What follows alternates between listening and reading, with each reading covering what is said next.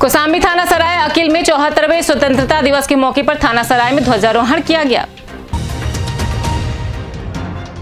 जौनपुर ज़िले के थाना सराय ख्वाजा क्षेत्र के अंतर्गत ठाकुर राम नरेश सिंह इंटर कॉलेज, चांदी गहना में कोरोना काल में सोशल डिस्टेंसिंग का पालन करते हुए चौहत्तरवा स्वतंत्रता दिवस राजस्थान के पाली ज़िले के थाना रायपुर के अंतर्गत ग्राम पंचायत मोहरा कला में लगातार हो रही बारिश के बीच राजकीय उच्च माध्यमिक विद्यालय एवं तो महावीर बाल निकेतन उच्च प्राथमिक विद्यालय में ध्वजारोहण किया गया। ज़िले के बिलसी थाना क्षेत्र के ग्राम बनबेहटा में सोशल डिस्टेंसिंग का पालन करते हुए 15 अगस्त पर ग्राम प्रधान प्रदीप प्रेम पाल सिंह ने किया ध्वजारोहण।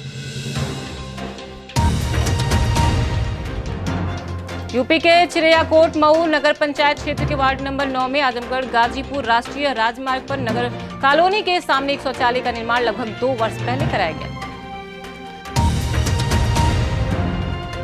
स्वतंत्रता दिवस के जश्न पर कर दिया राष्ट्रीय ध्वज का अपमान। पूर्व माध्यमिक विद्यालय कंडेशरा कला में हुआ तिरंगे का अपमान।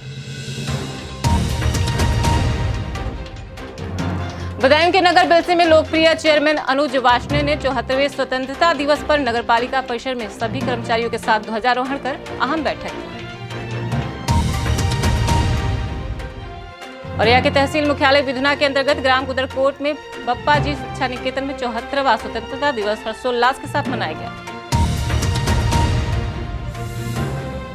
हिमाचल प्रदेश जिला हमीरपुर के अंतर्गत आज़ादी के तिहत्तर, चौहत्तरवें वर्ष पूर्ण होने पर शहीदों के नाम रक्तदान शिविर का लगाया गया।